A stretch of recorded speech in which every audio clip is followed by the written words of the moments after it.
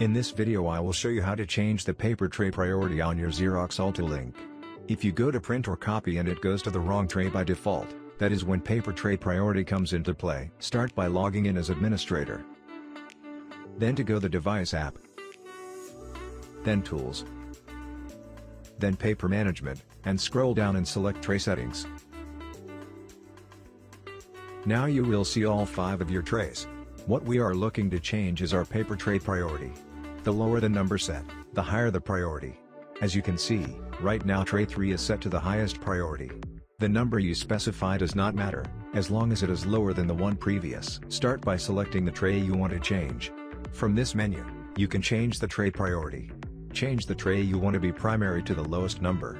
If you are having issues with your paper tray auto-selecting to the wrong size or wrong tray, you have the option to disable auto selection as well.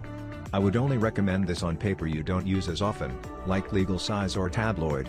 When auto selection is disabled, when making a copy it won't automatically pull from the tray. If you have a tray you never change the size paper or paper type, you can set the mode to dedicated.